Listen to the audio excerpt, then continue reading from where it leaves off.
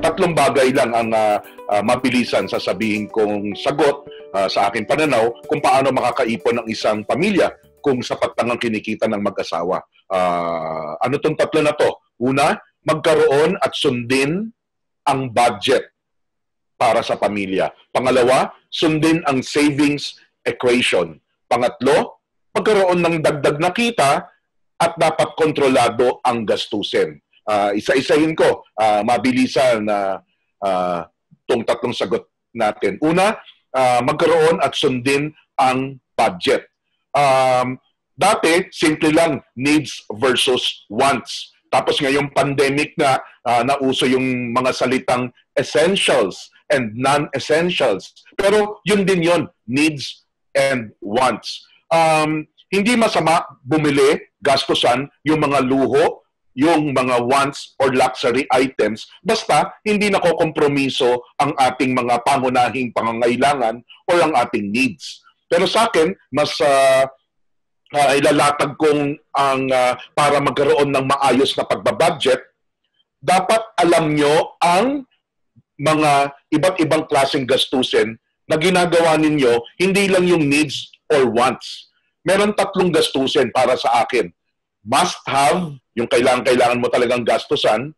Better to have, yung meron kang nakasanayan pero uh, iniisip mo na mas mataas ang gastusin para mas maganda, mas mabilis, mas malaki, mas maliit, kung ano man yung mas na gusto mong uh, makuha. At yung pangatlo, yung like to have.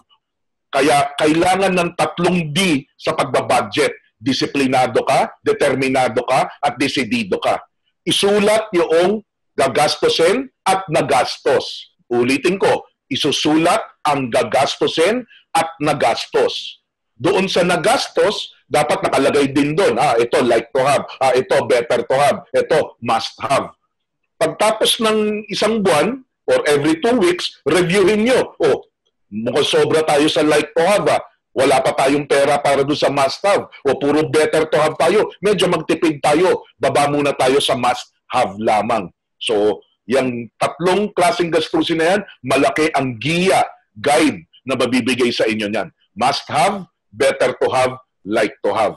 Pangalawa, paano makakaipon ng isang pamilya kung sapat lang ang kinikita ng mag-asawa? Related sa pagbabudget, sundin nyo ang savings equation. Hindi lang ako ang nagsasabi nito, marami sa mga nagtuturo ng tamang paghawak ng pananalapi, sinasabi, ang dapat na savings equation, income minus savings equals expenses. Basta pumasok ang pera, ang una mong paggagastusan kung magkano ang iipunin yung pamilya.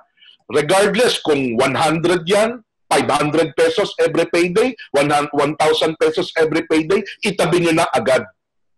Maging decisive, maging decidido na. Decide right away magkano ang iipunin nyo. Pangatlong at panghuli na paano makakaipon ng isang pamilya kung sapat lang ang kinikita na mag-asawa.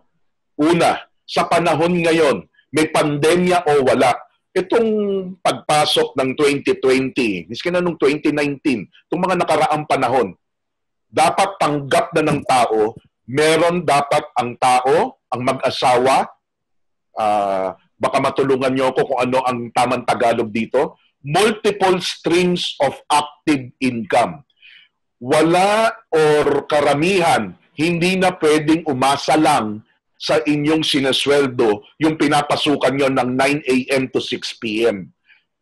Yung mga salitang racket, sideline, side hustle, basta hindi illegal, hindi immoral, kailangan meron tayong additional income to augment our regular na sweldo. Walang yumayaman sa sweldo lang, kadalasan pa, hindi na yayaman, hindi pa sapat yung ating sinusweldo lamang. So maghanap tayo ng uh, laging maghanap ng pwedeng dagdag na pagkakakitaan. Kasama na yan sa obligasyon natin. Paano makakaipon ng isang pamilya kung sapat lang ang kinikita ng mag-asawa, magkaroon at sundin ang budget, sundin ang savings equation, at magkaroon ng dagdag na kita at kontrolado na gastusin Para sa mas marami pang kaalamang pinansyal at balita tungkol dito sa KSK SMP Co-op, mag-subscribe na kayo dito sa aming YouTube channel. I-click nyo lang ang subscribe at ang notification bell para maging updated kayo sa bawat video na aming i-upload.